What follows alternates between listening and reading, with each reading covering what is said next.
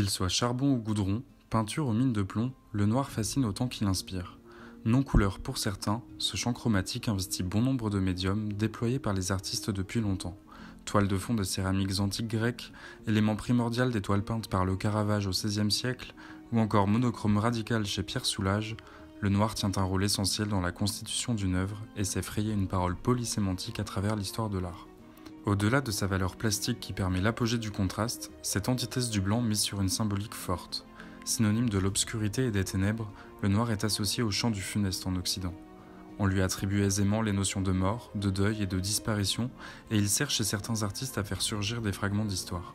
C'est le cas dans les œuvres de Jean-Marc Serrino, Raphaël Denis, Gabriel Léger ou encore Éric Manigaud, qui utilisent peinture, combustion, goudron ou graphite pour inscrire leurs travaux dans d'évidentes valeurs dramatiques. En définitive, malgré l'aspect manichéen qu'on lui accorde, le noir ne répondrait-il pas à une esthétique généreuse explorant davantage de dimensions créatives que celles encensées par la couleur?